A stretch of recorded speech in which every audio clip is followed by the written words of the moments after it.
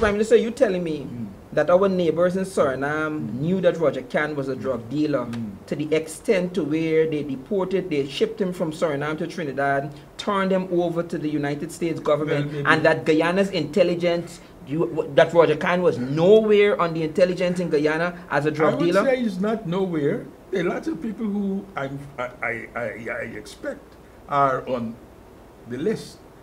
Kaieteur News is reporting that according to the U.S. Bureau of Prisons, the infamous Roger Shahid Khan will be released from prison this time next week.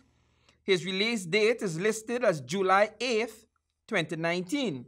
The local U.S. Embassy is said to be cooperating with the Guyanese authorities to allow for a seamless transition of Khan back home.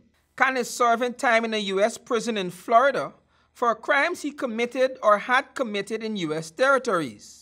He was sentenced to 40 years imprisonment on three separate charges. However, he has never been charged or tried in Guyana for any crimes.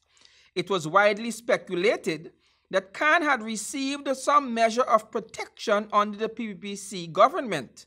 Khan is believed to have been intimately involved with the feared Phantom Squad, a group of mostly males that was known for a series of brutal killings during a period President David Granger now calls the Dark Days.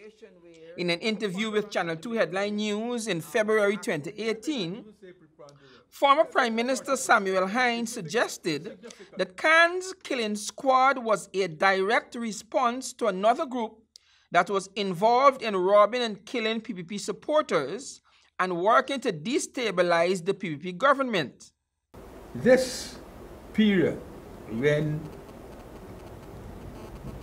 mostly Indo-Guyanese, but also maybe some non-Indo-Guyanese who were supporters of the, P the PPPC were being uh, being stolen, things being stolen, robbed from them, and so on and so on. And the, the IAC and them, I think, have the list on 150 or more million dollars or something.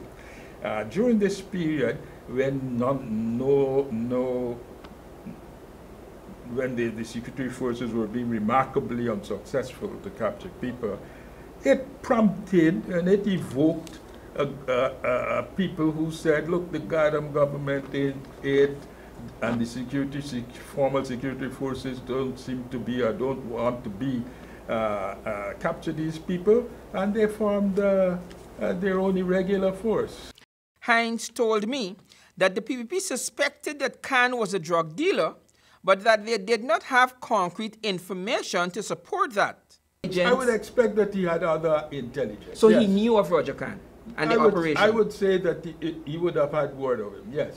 The former president said that while the PPPC government had their suspicions about Khan, they did not have enough evidence to arrest him. Why did he not rein in or sought to rein in Roger Khan? Um, that's a, a, very good question, a specific question. I will have to, we'll have to revert back to, we'll have to go through the period and see, and see whether there was uh, such opportunity or an occasion, whether things could be pinned on him, whether you could say that he had done this, he had done the other. Hinds, who also served as a transitional president for Guyana, said in that interview that if the whole truth about Roger Khan was to be told, it is possible that both the PNC and the PPP would be found culpable. For Channel 2 Headline News, Wendell Jeffrey.